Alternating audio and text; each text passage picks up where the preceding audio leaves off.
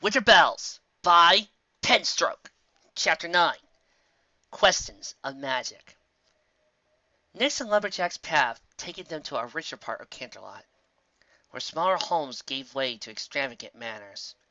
Like fine mares in a Hearth's Warming beauty contest, each home was trying to outshine its neighbors with holiday decoration.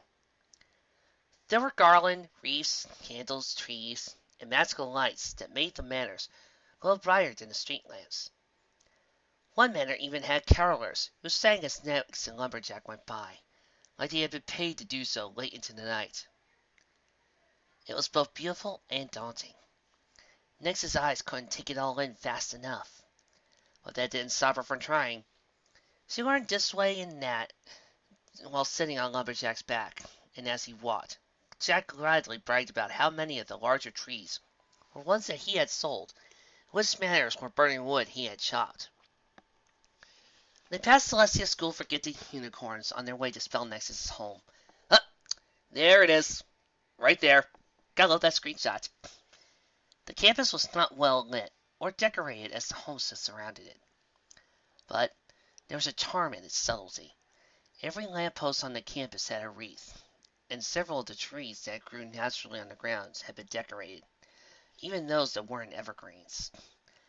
There were also students slowly strolling down the paths, mostly couples who had used to chill in the air as an excuse to cling close to one another. Spell Nexus' home was not far from the university, nor was it hard to spot. It was a dark patch amidst the glowing lights of the homes that surrounded it. There was no decorations outside. The only signs that any pony was home was the lights glowing from inside a few windows. It was a sight that made Nyx's stomach turn sour, and a nibbling urge to forget everything and to go home to Twilight to begin forming in her head. She had not seen Spell Nexus since the day she cured him of the blessing. Nyx didn't even know what had happened to him. He was a victim as much as any pony else, but he was also the start of it all. He had been the first of the children of Nightmare, and he had been the one to spread the so-called blessing. It had been Spell Nexus who crafted the resurrection spell that gave her life. You sure this is what you want? Lumberjack asked. Nyx licked her lips a moment, but then looked at him and nodded. Yes. Lumberjack returned the nod. He began to walk toward the front door, but as he did, his eyes wandered across the dark manor. It's same, you know. Lumberjack used to sell great big tree to Spell Nexus. His house was one of best, and over there he pointed to a fountain covered in snow. The path that led to the manor's front door circled around it, and as they walked by, Lumberjack couldn't take his eyes off it. Spellnix used to have always great big glowing magic hot above fountain. It was heartwarming hot. A copy of spell cast by Clover the Clever. It one of finest decorations Lumberjack had ever seen. Don't know why he didn't put it out this year. Nick sank down a little. She had an idea why. It was because of her and the children of Nightmare. The blessing that had gripped him was one of the most pervasive. There had hardly been an inch of his body that wasn't choked with the poisonous magic. What if it had changed him permanently? What if he was still bitter? What if there was still some left? It had taken Nyx all of her strength to beat back that demonic cloud of jealousy and rage when she was queen. If it tried to overtake her now, she'd be unable to defend herself. The whole idea of speaking to Spell was becoming less and less appealing. Nyx even opened her mouth to ask Lumberjack if they could, maybe, just go and find Twilight. But she was too late. Lumberjack had reached the door, and with his large hooves knocked three times. The knocks echoed from the far side of the door, as if the house was empty of all life. Yet, soon, the sound of footsteps began to emanate from the house. The door cracked open, light from inside spilling out into the night. The pony who had come to the door was not Spell Nexus. It was an older unicorn stallion who didn't have a hair out of place. His mane was well trimmed and slicked back, tail properly brushed, and his monocle was crystal clean, just like the monocle that was his cutie mark. Mr. Lumber, he said, rolling the words out of his mouth like he had perfectly formed pearls. As I assured you when you departed yesterday, we do not require a larger tree. If you have one that you simply cannot sell at your lot, you shall not find a home for it here. Lumberjack laughed. He gently punched the pony at the door in the shoulder. Ah, proper etiquette! You always make bad jokes! Lumberjack never fails to sell out his trees, even when I must sell one to save for the Nexus! And why are you here? Papa Arrogant questioned as he adjusted his monocle. Found little snowflake among snowflakes! Jack turned to one side. She wants to see spell Nexus! Proper Etiquette looked at Nyx for a few moments, his face still a perfect mask of composure. Nyx had met Proper Etiquette before. He had come to Ponyville, to Nice Stone Castle, once or twice to bring Spell Nexus things from his manor, and news from the occupation at Canterlot. He was a pony he had never seen smile or frown. He was a butler of such skill and experience, so he expected him to be working for the princesses. For several long moments the trio stood there, with each passing seconds. Nyx feared she and Jack would get the door shut in their face. But eventually, Proper Etiquette stepped back and bowed slightly. Please come in. Jack didn't dawdle. He stomped into the door, making no effort to wipe his hooves on the doormat before walking into the center of the home's foyer. It was there he and Nyx found the only bit of Hearth's Warming decoration to be found in the entire manor. It was a single tree, decorated but elegantly with golden ornaments, gentle glowing lights, and a star. Ah, you did her up right, you did, Lumberjack said with a smile as he circled the tree. Why, I could not have done it better myself. Well, maybe a little less garland, but very good otherwise.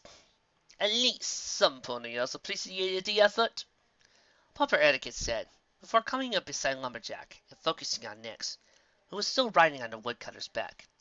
Uh, Miss Moon, Spell Nexus is currently in his study. Shall I show you to him? Y- yes, she answered as he carefully hopped from Lumberjack's back. but please, my name is Nyx, not Nightmare Moon. Of course, Miss Nyx. Now, Mr. Lumber, please feel free to make yourself comfortable here. I do ask, however, that you try to resist the temptation to touch the tree. It does not require any further decoration or enchantment. Proper Etiquette's golden cone made Lumberjack quickly pulled his hoof back from an ornament and smile innocently, like a colt who had been caught with his nose in a cookie jar. Of course, it is fine tree. I could not make it better if I wanted, even if some ornaments are not hung best way possible. That, Miss Lumber, is a matter of opinion. Now, as to you, Miss Nyx, please come with me. What do you want, Etiquette? I'm busy. Yes, the numerous bottles and take-out bags attest to just how busy you've been since the last time you let me in here clean. Still, you might want to take a brief moment to straighten yourself up, sir. And why is that? "You have a guest. I do not want to see anybody." I realize that, sir. Your habits of the last few months have made that perfectly clear. This, however, is one pony I feel you may want to see. I do not want to see any pony. But, sir, I do not want to see any pony. but there was a clatter of books and glass hitting the door. I do not want to see any pony, Etiquette. Who in their right mind wants to see me anyway? If it's Princess Celestia again, tell her my answer is still no. It is not Princess Celestia, sir. It is Miss Nyx. The long pause that followed made Nyx sift anxiously. She had been left outside the study by Proper Etiquette, had gone inside to speak with Spell Nexus.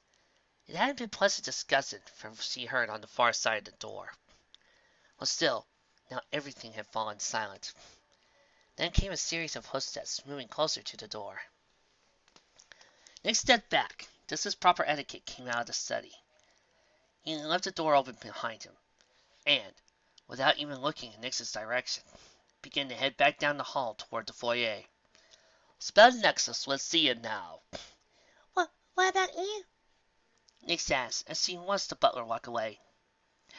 Spell Nexus has asked to see you alone, he answered, before a rustling in Latin came down from the hall, from the direction of the foyer. You'll have to excuse me, but because I must ensure Mr. Lumber is not trying to decorate the foyer or repossess the tree. With that, Proper Etiquette was gone. Stepping quickly to attend to the ruckus Lumberjack was making in the foyer. This left Nyx alone and outside the cracked door to the study. She couldn't help but swallow nervously. Once more, the thought of turning back and just going to Twilight slipped into her mind, but she pushed it back. She wanted answers. This was where she would get them. So, with her legs feeling like gelatin beside beneath her, she pushed open the door and moved into the study. She didn't know what she expected when she entered the study hall. Spell Nexus had bragged about how it had been the nerve center of the nightmare of children before her resurrection. He had spoken of his books, hidden behind books, and the secret meanings helping within. He had even bragged his study had been the stage of Celestia's greatest folly, when he had convinced her to lead an unsuspecting hoof in her own downfall. One thing was certain, however. She did not expect it to be such a mess. Books that were once neatly filled to shelves were in stacks on the floor, being used as tables for dozens of empty glass bottles that dotted the room. The air smelt of rotten fruit and body odor, a smell that was made only worse by the heat coming from the fire in the hearth. In front of that fire, sitting slump in the back, was Spell Nexus. And he wasn't looking much better than the room. The stallion who once been the dark-minded leader of the Children of Nightmare now looked like he hadn't been outside in weeks. His eyes were plagued with bags from lack of sleep. His mane now reached down to his shoulders, and his untrimmed bags hid his eyes. His once lean middle had been overtaken by a heavy paunch of a belly, and a pile of empty bottles, take-out boxes, dirty dixes, cluttered the end table beside his chair. Even his tie, which had been clinging neatly to his neck, had suffered. Laid across the end table, wrinkled and stained like it had been used as a napkin. Spell Nexus?